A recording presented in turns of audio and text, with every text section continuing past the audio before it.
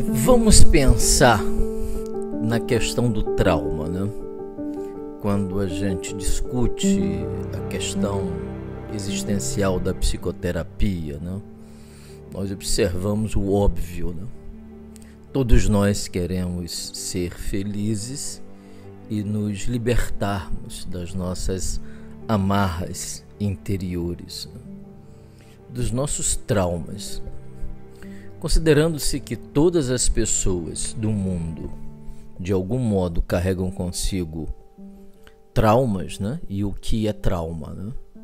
Trauma é um conflito entre a possibilidade de uma estrutura mental compreender o que está acontecendo ou não compreender o que está acontecendo quando não compreende o que está acontecendo, porque de fato a situação externa é violenta demais, pensemos, por exemplo, numa criança que é submetida a maus tratos.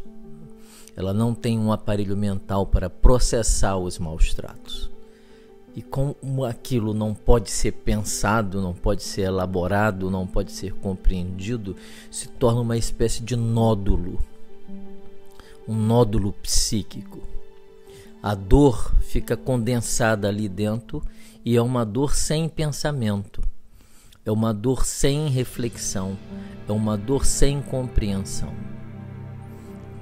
Então o, o trauma, ele é isso, ele é inevitável na vida da gente. E por que, que ele é inevitável? Porque a vida não é perfeita. A vida efetivamente é imperfeita. Ademais, não é necessário que os traumas ocorram só a partir do mundo externo. Fantasias, né, imaginações, até mesmo processos fisiológicos do desenvolvimento né, podem impactar o ego de maneira que produza traumas. Então, a pessoa pode ser traumatizada né, em relação a alguma coisa a beleza, por exemplo, a cor dos olhos, ao cabelo, a altura, muito alto ou muito baixo.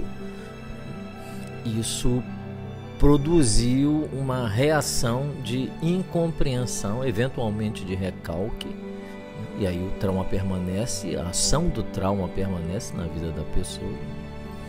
E a pessoa então é, se sente amargurada. A psicoterapia tem a pretensão de eh, reforçar esse ego, preparar esse ego para vivenciar aquilo que não foi possível vivenciar num determinado momento, eventualmente no momento em que o trauma ocorreu. Isso não pode ser feito a não ser que se desenvolva a função compreensão. A compreensão, portanto, de fundamental importância para o progresso emocional, para o progresso existencial. Nós somos desafiados todo o tempo a compreender. Pensemos também num outro aspecto do trauma muito importante. Né? Se nós entendermos trauma exclusivamente como um impacto externo sobre o indivíduo, nós perdemos de vista a extensão do trauma. Pensemos em alguém que já está com uma certa idade e pensa na morte, por exemplo.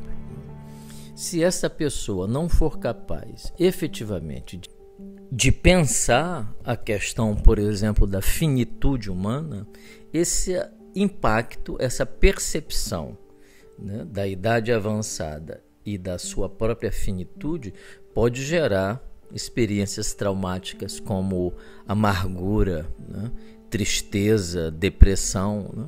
E tudo isso são indicadores de que o aparelho mental não amadureceu o suficiente para compreender. Compreender não significa não sofrer. Compreender significa aceitar até mesmo o sofrimento como um determinante normal da vida humana. Eu queria fazer essa reflexão sobre complexos ou traumas. Né?